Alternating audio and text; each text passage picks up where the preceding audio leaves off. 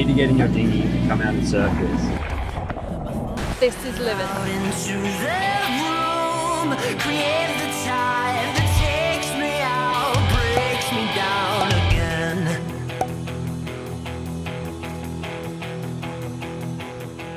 Welcome to Finding Avalon. We've been hanging around Fiji for a few days now. Some things have been going our way, and others haven't. But on balance, this place is a real treasure in the South Pacific, and we're looking forward to exploring more exquisite anchorages.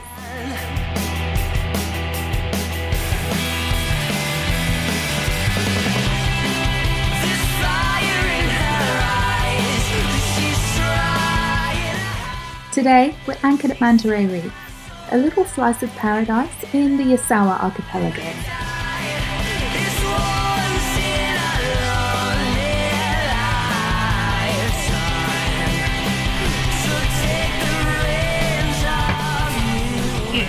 Reins of It is very rolly in this anchorage this morning. How did you go last night? I slept good in my back. I know.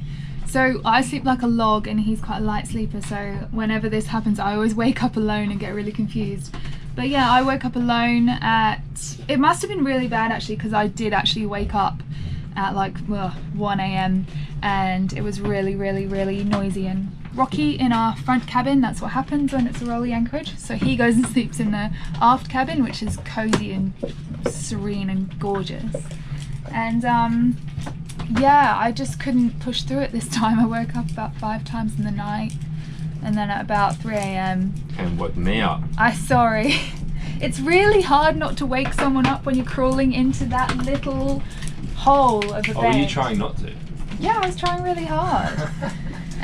so um, yeah, we we thought we were being really cool by anchoring on this side of the pass when all the other boats are over there, but actually it's not cool. So we're gonna move through the pass, and it looks a bit calmer over there. And today, Mummy! mummy. We've got some very VIP guests. Yeah.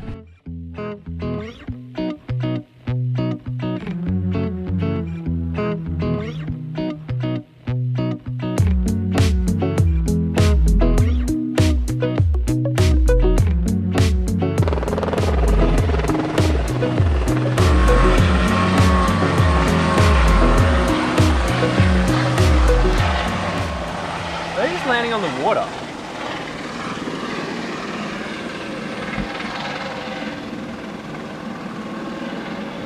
Oh no, it's just gonna land on the beach. Landing on the beach, that is rock star.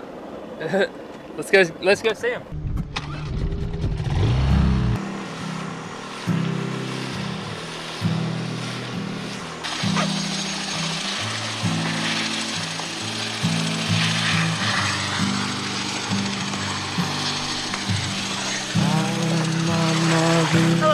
Hello,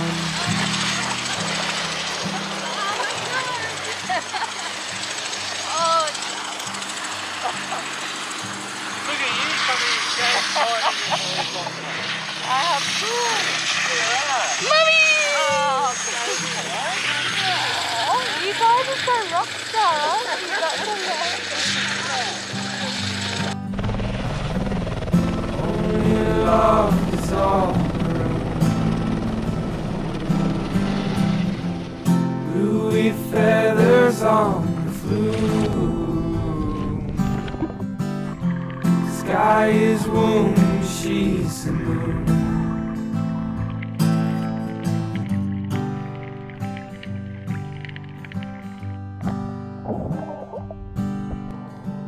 I am my mother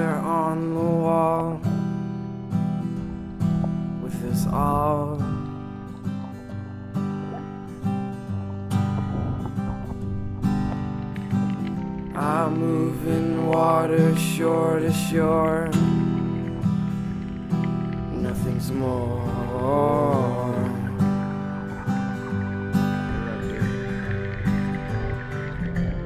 Only love is all.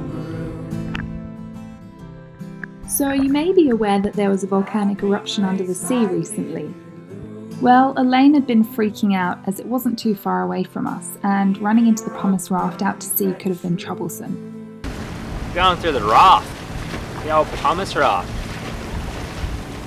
We've been tracking its location. And, uh, here it is. Look at it. Oh my god. We'll put our experienced captain up to the task of dodging the raft.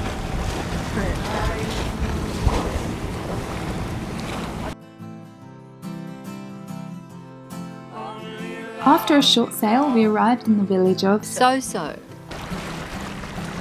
keen to check out what Fijian island life is like and buy some local handicrafts.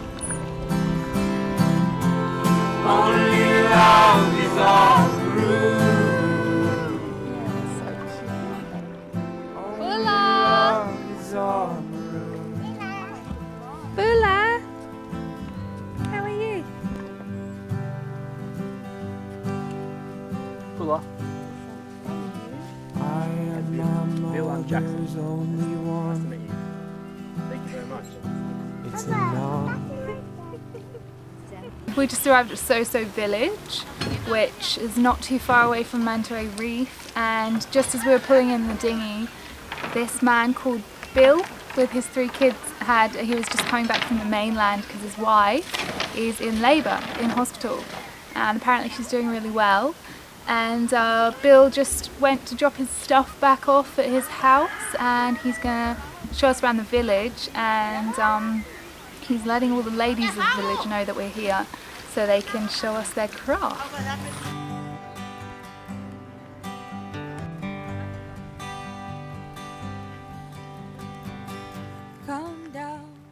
Introducing the Soso Village Boat. When the locals schedule a group trip into the city, they all muscle together to push her into the sea. slide your crystal eyes, and I wanna see your smile. Come down, sunburned on high. Yes, I am scared as you are. Bill introduced us to his mum and all the other ladies in the village who'd laid on a private little market for us. You're mine.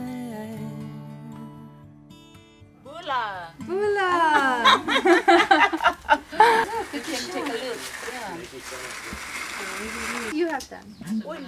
For your new baby. Whoa! Thank you very much.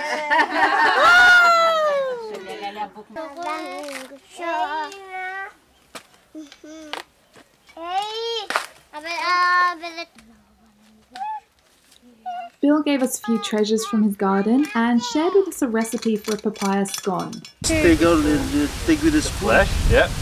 put in the flour, Yep. mix it with the water. With a bit of water, and then in the oven. Alright. Whoa. We shall be doing that. With the yellow scone. Yellow, scone. All right. Oh, we got jam. Now we just need to. Oh, thank you so much, Bill. That's great.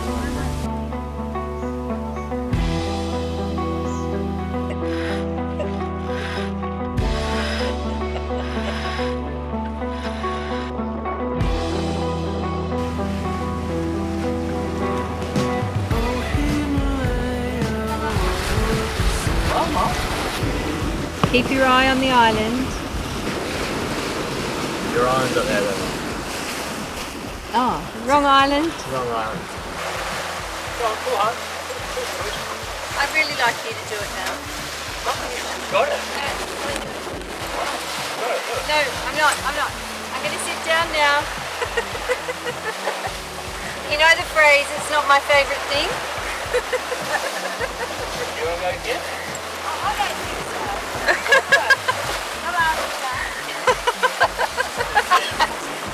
I belong here.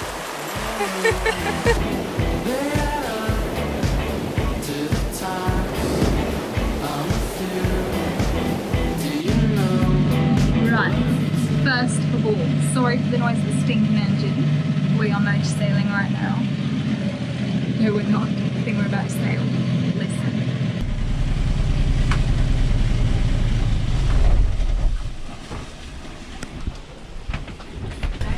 Okay, that means I have to come in here because I was just going to tell you a secret.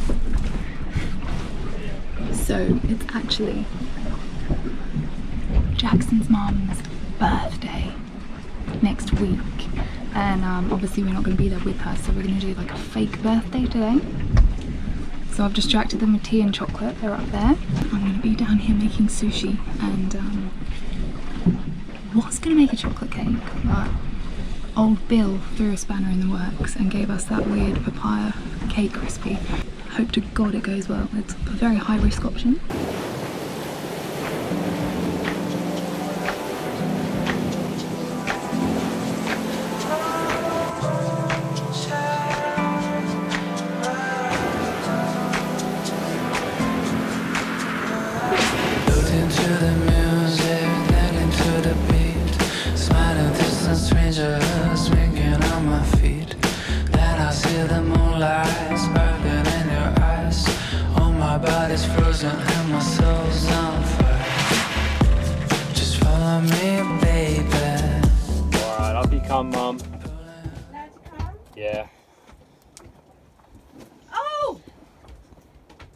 Happy birthday to you.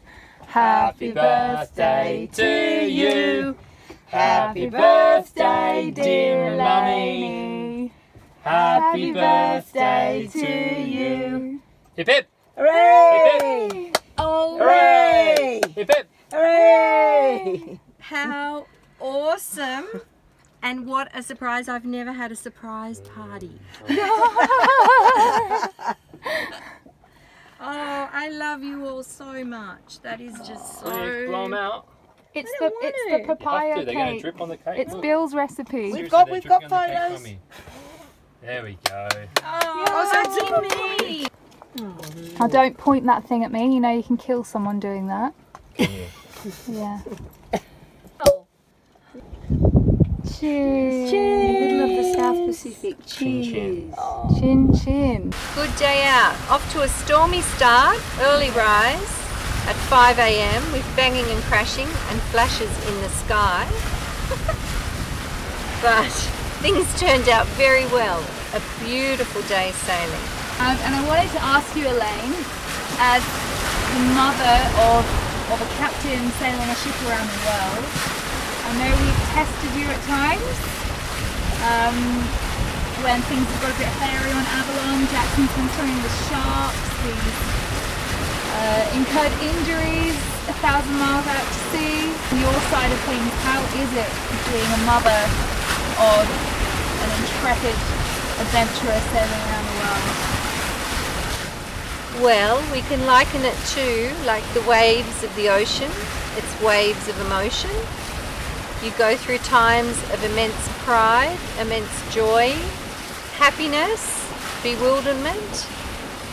Um, yes, but there are certainly times that test your hope and your faith that everything is going to turn out well. It's been a great lesson in letting go, um, letting go and just trusting in the ability of both Jackson and you, Xanthe. Um, and you've really proven to me that you guys have got what it takes to do something like this. The one of the main things that I really got anxious about was that big leg injury because I just felt so helpless and knew that you guys would not be back to land for a long time but then that proved to be okay as well. You guys handled it so beautifully and um, you looked after him so well and um, yeah, to be part of your adventure has taken me to places where I would never have normally gone. And as my good friend Kim says, courage over comfort. And this Finding Avalon voyage really pushed me out of my comfort zone. But I've also been able to be part of that adventure with you guys. And I'm very, very thankful for that.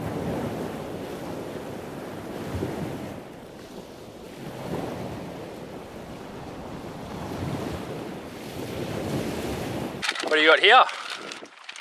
It's our new paddleboard Woohoo! to give us a little bit more freedom How long have you been wanting a paddleboard for? uh, since the beginning of the trip, nice not to have to like get in the dinghy and use the motor. It's just a much more serene way of getting around. Um, we actually got sent this by our friends at Goose Hill Sports. It's a really affordable travel paddleboard, so they're like, I think they're $400 retail. Yeah, it's like, it's this big, like packed up. In a little bag, inflatable. You just blow it up. Paddle.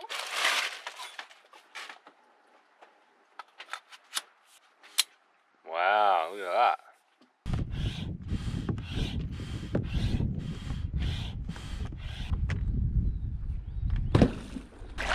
This has actually been my dream for years. I've Yeah, always- Zed is so keen on this. I've, I've got to the point where I've been like online, I've chosen a paddleboard and it's kind of been always been this size because I've always wanted me and Jackson to be able to go on a paddleboard together because we used to live by this lake that, that went out into the ocean and the sunsets were bullshit. Dreamt of us being, a, being able to pack some beers onto the paddleboard and just go like this into the sunset. And now we're doing it. So, this here is the pumice. Pumice. Got her. It's the pumice. And uh, when we were sailing from Tahiti to Tonga, my mum sent me quite an urgent email saying be careful the pumice raft, yachts are being getting stopped in it. And basically it's from an underwater volcano in just off Tonga. And when it explodes and erupts underwater, it puts out this like aerated rock and created this huge like raft or landscape of floating rock that was up to 50 kilometers.